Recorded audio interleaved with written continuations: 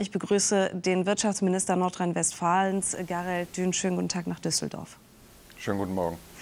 Wie sehr fühlen Sie sich eigentlich äh, vor den Kopf gestoßen angesichts der Tatsache, dass Sie bis vor kurzem noch als Land mit General Motors in einer Arbeitsgruppe über die Perspektive für den Opel-Standort gesessen haben? Wir werden auch weiter mit dem Unternehmen in einer Arbeitsgruppe darüber sprechen, wie wir sicherstellen können, dass niemand der jetzt dort Tätigen in die Arbeitslosigkeit entlassen wird.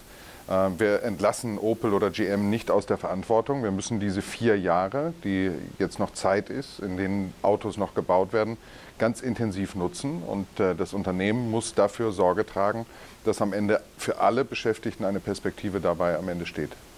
Dann schauen wir doch genauer auf diese Perspektive. Mehr als 3000 Opelaner werden voraussichtlich ihre Arbeit verlieren. Wie können Sie diesen Familien Unterstützung geben? Zunächst einmal muss äh, GM bzw. Opel noch einmal ganz klarstellen, dass es keine betriebsbedingten Kündigungen geben darf. Ähm, das würde schon einmal für Sicherheit sorgen. Und dann äh, muss darüber gesprochen werden, erstens, was wird in dem bisherigen Werk künftig noch produziert. Es ist von Warenlager die Rede, das wird alleine nicht ausreichen. Es wird aus meiner Sicht darum gehen müssen, dass hochwertige Komponenten dort produziert werden, wie zum Beispiel Getriebe oder Motoren. Damit lässt sich dann auch wieder äh, Geld verdienen und äh, hochqualifizierte Arbeit sicherstellen. Und dann wird es darum gehen, und das wollen wir gemeinsam begleiten, dass auf dem Werksgelände, auch auf den freien Flächen, die jetzt schon zur Verfügung stehen, sich beispielsweise Zulieferer oder andere Unternehmen ansiedeln können, damit dort Beschäftigungsmöglichkeiten für diejenigen entsteht, für die dann äh, eben nichts mehr übrig ist in dem eigentlichen Opelwerk. Bochum ist allerdings natürlich mit dem Opel-Standort nur ein Puzzlestein im Ruhrgebiet und daher und von dort gibt es ja immer wieder schlechte Nachrichten. Nicht zum ersten Mal 2008 hat Nokia geschlossen. Gestern hat eben Opel die Schließung angekündigt. Heute gibt es äh, schlechte Nachrichten von ThyssenKrupp.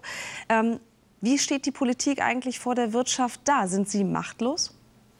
Nein, überhaupt nicht. Äh, und wir haben ja nicht nur diese Meldungen, sondern wir haben ja auch durchaus positive. In der letzten Woche sind wir äh, gemeinsam mit dem Duisburger Hafen hier aufgetreten und konnten verkünden, dass äh, durch Audi und ein Logistikunternehmen 500, 500 neue Arbeitsplätze in Duisburg entstehen.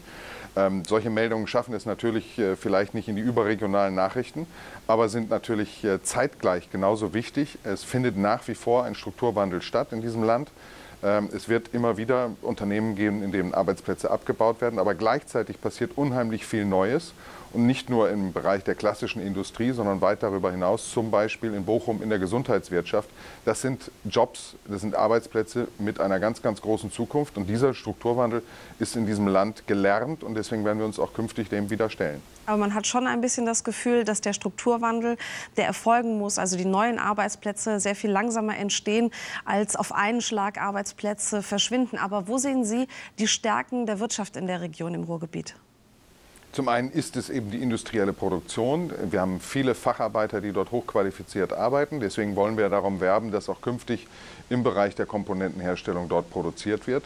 Wir haben dann einen ganzen Bereich von äh, produktions- und produktnahen Dienstleistungen. Da ist zum Beispiel in der Stadt Dortmund in den letzten Jahren enormes entstanden im Bereich der Dienstleistungen, sehr hochwertig, nicht irgendwie niedrig qualifiziert und schlecht bezahlt, sondern da sind ganz neue Geschäftsfelder entdeckt worden. Und äh, nehmen Sie mal wirklich das Beispiel äh, Dortmund. Das ist die große Stadt in Deutschland mit 500.000 Einwohnern, die inzwischen am wenigsten Industrie hat, aber wo sich wirklich dieser Strukturwandel zu einem Guten äh, hat wenden lassen. Und das werden wir in den anderen Städten des Ruhrgebietes genauso hinkriegen, wenn wir mit den Unternehmen das zusammen in Angriff nehmen. Und deswegen darf GM, darf Opel in Bochum sich eben nicht aus der Verantwortung stehen und sagen, in vier Jahren hören wir auf, sondern sie müssen jetzt zu konkreten Verabredungen kommen, damit eben so etwas wie bei Nokia, das ist eine ganz bittere Erfahrung gewesen, sich nicht wiederholt. Und inwiefern kommen Staatshilfen tatsächlich nicht in Frage? Staatshilfen sind hier jetzt gar nicht gefragt. Äh, die Aussagen von Herrn Rösler äh, haben überhaupt keinen Anknüpfungspunkt. Das war vor drei, vier Jahren, als äh, es darum ging, ob Opel verkauft wird, ob Kredite genommen werden, ob Bürgschaften äh, dann in Aussicht gestellt werden müssen. Eine gänzlich andere Situation. Jetzt geht es darum, nicht mit Staatsgeld, sondern mit Geld aus dem Konzern dafür zu sorgen, dass perspektivische Arbeitsplätze neu entstehen. Wir können das alles so machen, wie manche sich in Amerika das vielleicht vorstellen. Dann wird es richtig teuer. Dann wird es nämlich ein expansiven Sozialplan geben müssen. Ich finde nicht, dass das die vernünftige Vorstellung ist. Wir wollen keinen Sozialplan, auch keinen Sozialplan Deluxe, sondern wir wollen, dass wieder künftig neue Arbeitsplätze entstehen. Und dafür muss auch Opel dann Geld auf den Tisch legen, nicht der Staat. Und was ist mit den Schulden im Ruhrgebiet? Auch Bochum hat 1,3 Milliarden Euro Schulden. Auch das ist sicherlich für den Strukturwandel nicht besonders förderlich. Wir haben viele Städte, die in großen Schwierigkeiten sind, was damit zu tun hat, dass in Berlin ständig Entscheidungen getroffen werden, ähm, dass die Kommunen noch zusätzliche Leistungen zu erbringen haben. Und da, wo die Arbeitslosigkeit dann relativ hoch ist, auch über 10 Prozent, wie in einigen Bereichen des Ruhrgebietes, schlägt das dann besonders zu Buche. Die Kommunen kriegen eine Aufgabe nach der anderen aufgebürdet, aber ihnen wird das Geld für die Erledigung der Aufgaben nicht gleich mitgeliefert. Und deswegen brauchen wir eine dringende Veränderung auch dieser Finanzströme vom Bund bis hinein in die Kommunen. Wir haben in Nordrhein-Westfalen äh, einen Stärkungspakt der Kommunen auf den Weg gebracht. Das hat schon deutlich geholfen, aber es reicht nicht aus. Auch Berlin muss dort seine Hausaufgaben machen für die Kommunen, insbesondere im Ruhrgebiet.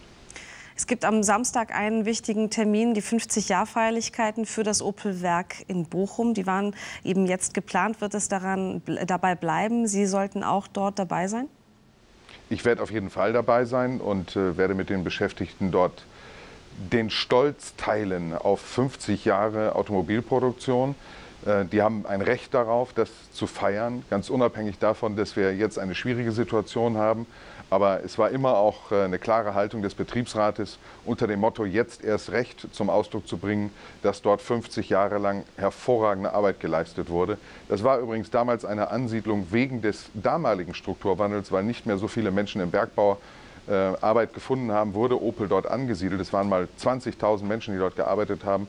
Und das zu feiern und das äh, nochmal ins Bewusstsein zu rücken, wie wichtig dieses Unternehmen und dieser Standort gewesen ist, das halte ich für ganz, ganz toll, äh, dass wir das am Samstag dann auch gemeinsam so begehen. NRW-Wirtschaftsminister Garel Dün, herzlichen Dank für das Gespräch hier bei Phoenix.